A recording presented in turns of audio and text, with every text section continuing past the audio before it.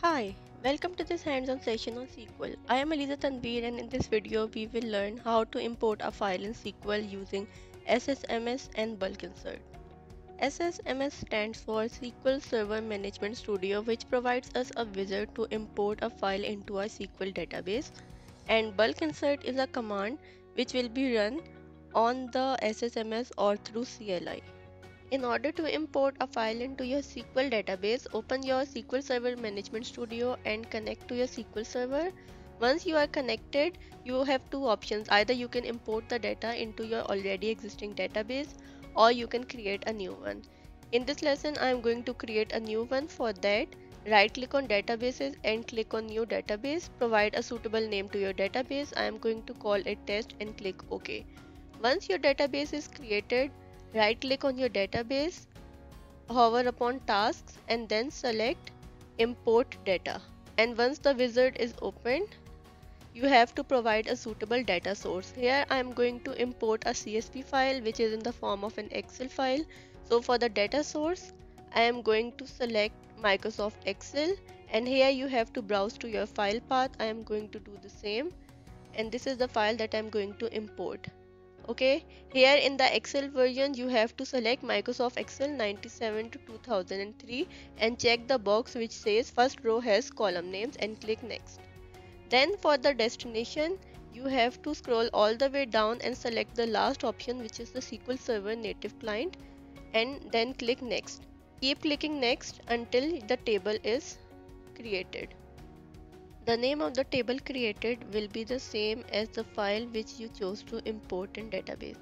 And after a while you will see that your table has been created and all the rows from your CSV file or whichever file you were importing have been successfully transferred. Close it. Now we are going to test whether this data has actually been loaded into the database or not. You can verify it in two ways. First way is to expand the database, then expand the tables and here you will see that the table has been uploaded inside the database. Let's query this. And for that select your database from the options. And here I simply I'm going to select all the records from the database to see whether the data has been imported into the database or not.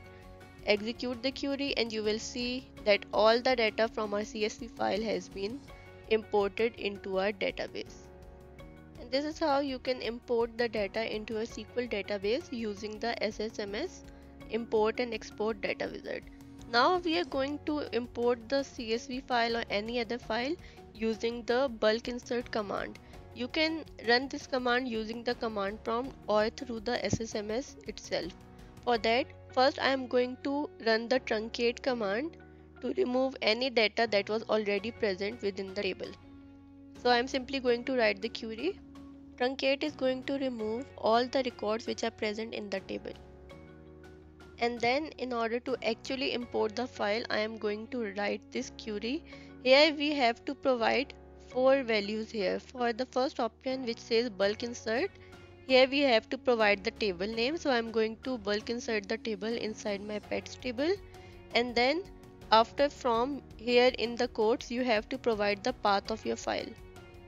So here is my file. I am going to copy this path and I am going to paste it here and I am going to provide the file name along with the extension.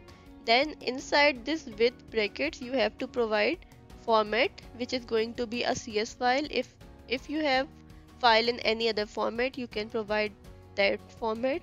I am going to import the CSV file. So that's why I have added the CSV here and the purpose of using first row equal to 2 is that the first row in my CSV file indicates the table column. So I'm going to start loading the data into the database by telling it that the first row starts from the second row. Okay now let's execute the query. And you will see that the output shows that 100 rows are affected. Now we are going to reload it and see that inside the tables we have the pet table and upon running a select query similar to the previous one in which I am going to simply print all the data from the pets table.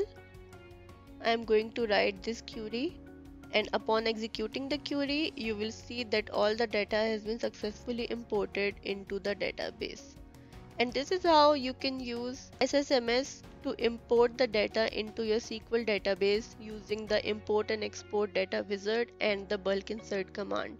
This is all for this video. Thank you.